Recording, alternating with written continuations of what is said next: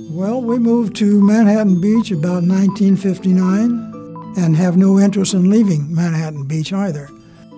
I was a veterinarian mainly in small animals, which uh, involves uh, dogs, cats, birds, and occasional exotic, uh, being a mountain lion, uh, this type of thing, the dentistry with that. But I actually retired in 1990. Roy and his wife were enjoying their retirement, but Roy started experiencing changes in his body.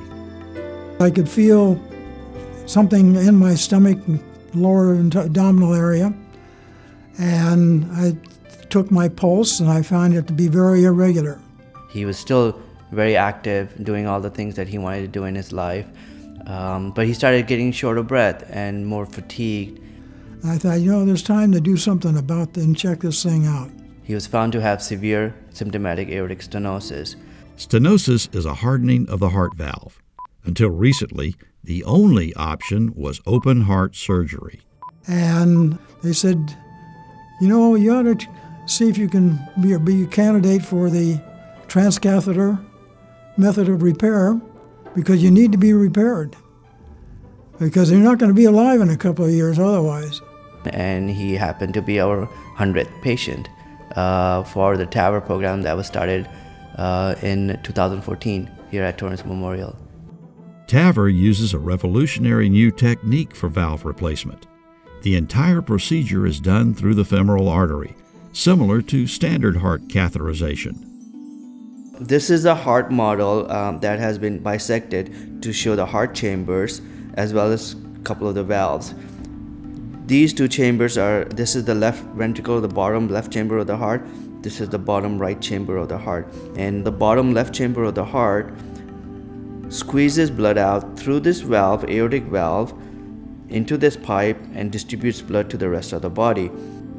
Now with aortic stenosis, the valve here in this position has been calcified, narrowed, and just does not open, placing significant pressure on this bottom left chamber of the heart to work extra hard to push blood out to the rest of the body. The procedure is performed in a specialized hybrid operating room that has both the full capabilities for heart surgery and advanced imaging technology. These imaging tools are critical for the medical team to navigate and deploy the valve with great precision. A key part of the procedure is prepping the valve for its journey through the circulatory system.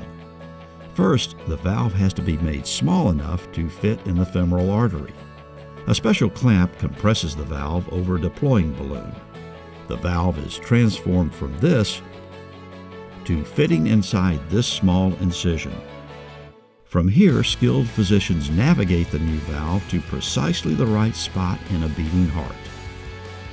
Here, we are depicting the transcatheter valve. We advance it through the groin, across the native valve, and when the balloon is inflated, the valve is deployed. And we're going up with the valve and the valve has been deployed. Dr. Azam has been involved in pioneering this work and has performed hundreds of these procedures.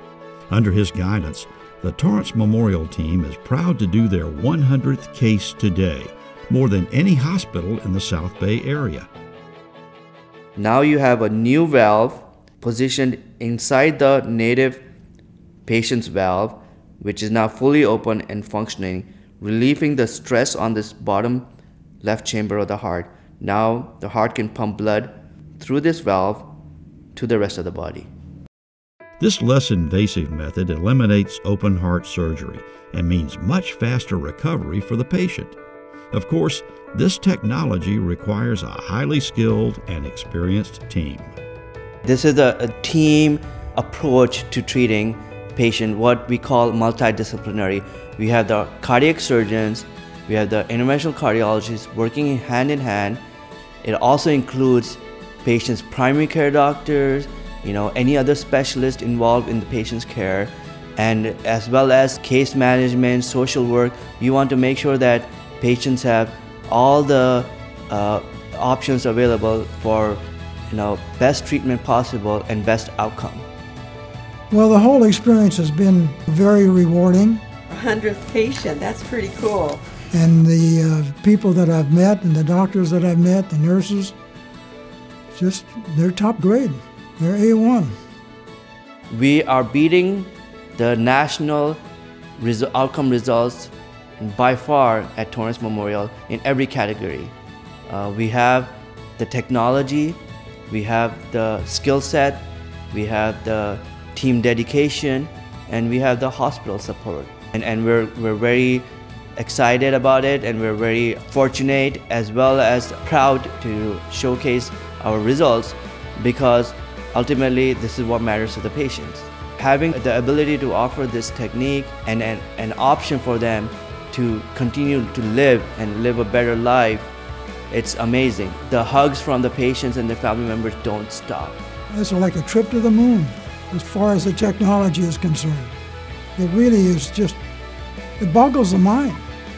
Torrance Memorial. Exceptional care, exceptionally close.